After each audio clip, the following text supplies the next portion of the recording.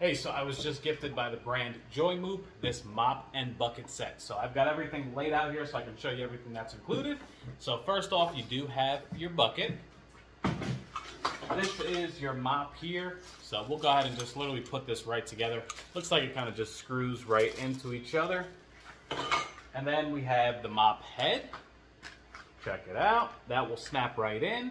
Now it already has one of these mop heads attached already. Looks like they attach pretty easily. But then what's cool about it is it comes with three extras. So you do have three replacements, although you can just throw these right in the wash after you use them if you wanted to. So I'm gonna go ahead and put all this together. I'll show you what it looks like.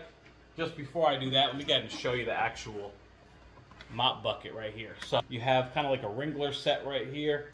So this is your wash and this is your dry right here. So I'll show you how to do that. But we'll go ahead and unlock this. You wanna go ahead and just pull that right out. You wanna fill this up with water all the way to the max line right there before you go ahead and begin using it. Okay, so we got everything put together here. One thing I did notice is there is a little knob right here on the top. So when not in use, you can actually go ahead and just hang that up too.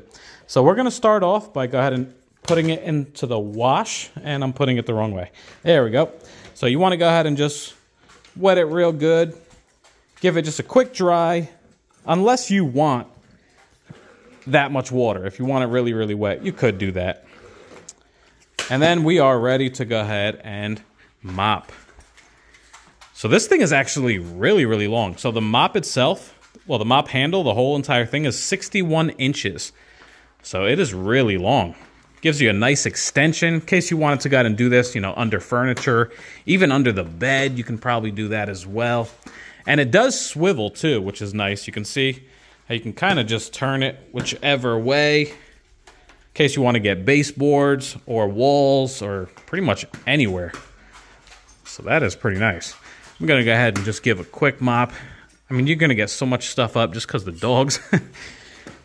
this is wild. But hey, this is pretty great. Let's go ahead. We're going to put it through the wash one more time and then give it just a quick dry again. All right, so let's go ahead. We want to go ahead and take that dirt off now.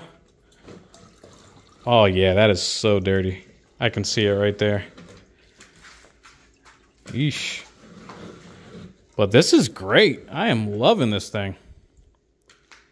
Got to wet it one more time. Give it a quick dry. This is great. I normally use, you know, the regular mops, not one that has like a wringer on it.